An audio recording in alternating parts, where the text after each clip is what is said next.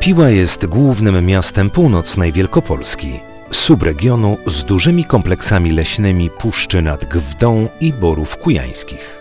W granicach miasta i na bezpośrednio przylegającym do niego terenie licznie występują siedliska wodne, w tym kilka typów jezior i torfowisk, niewielkie rzeki i strumienie oraz siedliska towarzyszące większej rzece nizinnej Gwdzie. Bogactwo to zdecydowało o wyznaczeniu specjalnego obszaru ochrony siedlisk Ostoja Pilska. W ramach tego obszaru Natura 2000 chronione są aż 23 typy siedlisk z pierwszego załącznika dyrektywy siedliskowej Unii Europejskiej, co stawia to miejsce wśród najbardziej różnorodnych w Polsce.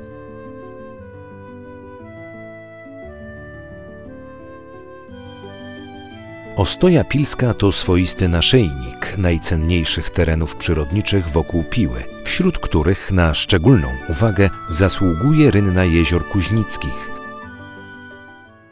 W rynnie jezior kuźnickich znajdują się m.in. bardzo żyzne zbiorniki wodne, takie jak jezioro Rudnickie, e, mniej żyzne zbiorniki torfowiskowe czy ramienicowe, kompleks stawów rybnych, torfianek, jak i łąki e, usytuowane na pokładach torfów czy osadów jeziornych.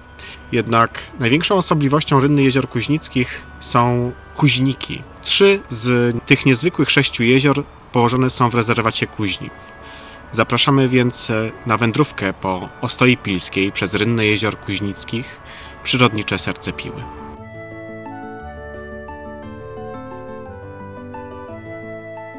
Położony w większości w granicach miasta Piły rezerwat przyrody Kuźnik został utworzony już przez władze niemieckie w 1926 roku.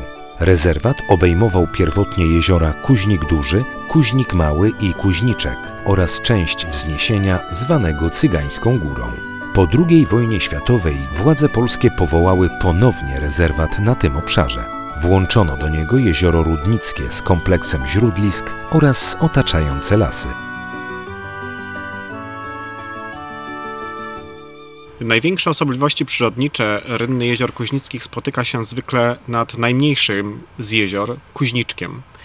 E, niezależnie od tego, jaki, jakiej specjalności e, naukowiec by się tam pojawił, e, okazuje się, że najrzadsze organizmy występują właśnie nad tym małym torfowiskowym jeziorem. Tak drobnych organizmów nie da się inaczej chronić, jak chroniąc je ekosystemowo chronimy całe siedlisko ich występowania i właśnie taka ochrona jest e, głównym założeniem programu Natura 2000.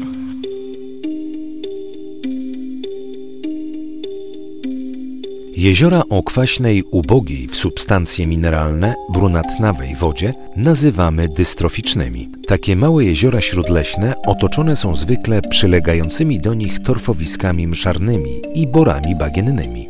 W obrębie torfowisk można spotkać szereg mchów torfowców, ale także takie rośliny jak owocujące w postaci białych, puszystych pomponików wełnianki, wąskolistne i pochwowate, czy najpiękniejszy klejnot torfowisk rosiczkę okrągłolistną, zwaną czasami rosą słoneczną.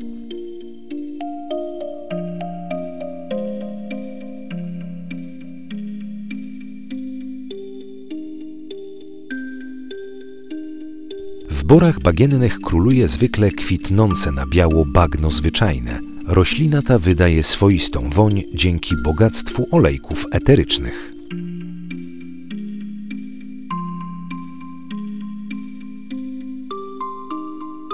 W środkowej części rynny położone jest bobrowe bagno.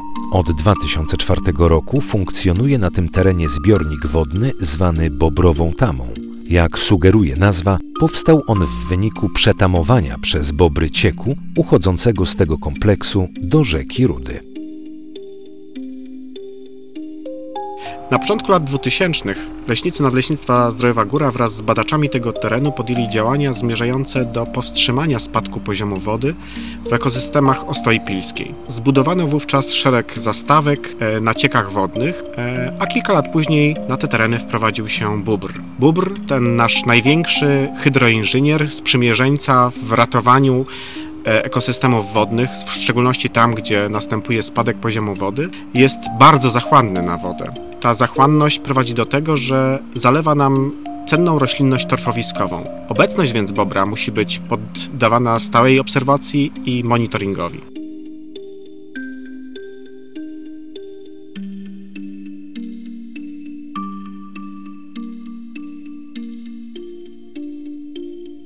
W ostoi pilskiej poza borami i lasami bagiennymi występują łęgowe lasy olszowo-jesionowe, wierzbowe czy dębowo-wiązowo-jesionowe, grądy, a także kwaśne buczyny i dąbrowy, wszystkie chronione w ramach sieci Natura 2000. W tych żyznych siedliskach spotykamy chronione gatunki roślin, w tym królową kwiatów, lilię złotogłów. Jej piękne, różowawe kielichy można oglądać w lasach rosnących nad Rudą i Gwdą.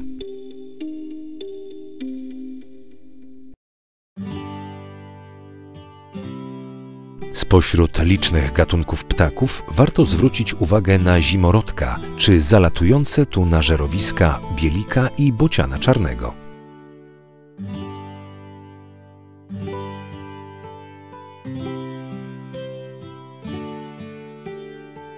Stawy rybne przy osadzie Czaplino są siedliskiem największej populacji kumaka nizinnego w otoczeniu Piły. Wieczorne kumakowe koncerty są coraz częstszym walorem stawów, starorzeczy i oczek śródpolnych. Kumaki do swoich godów wybierają płytkie, dobrze nagrzane wody.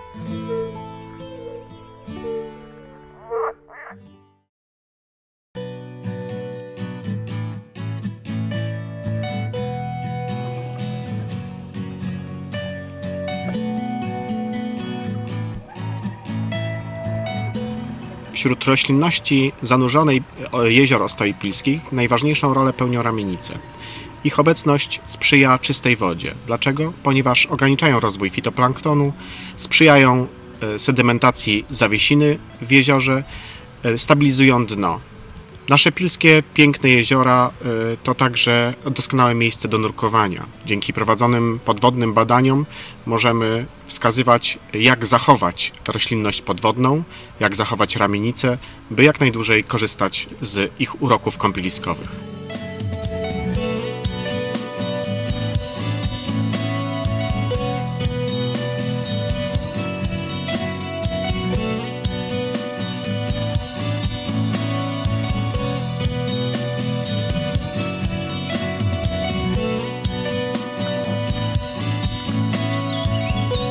Zapraszamy do poznawania Ostoi Pilskiej, specjalnego obszaru ochrony siedlisk Natura 2000. Poznajmy urok jej czystych i pięknych jezior, żyznych nadrzecznych lasów, a także ciepłych, suchych borów chrobotkowych. Zapraszamy do Piły Ostoi Natury.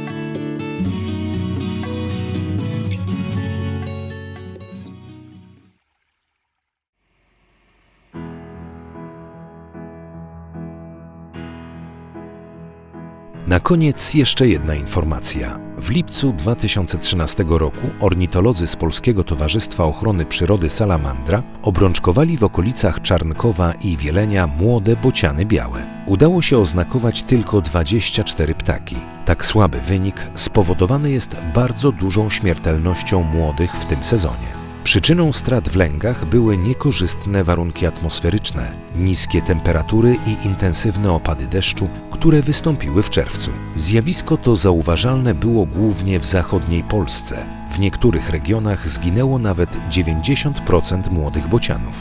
Takie zjawiska niestety się zdarzają. Na szczęście są one zwykle rekompensowane przez sukces lęgowy w kolejnych sezonach. Wierzymy, że i tym razem tak będzie.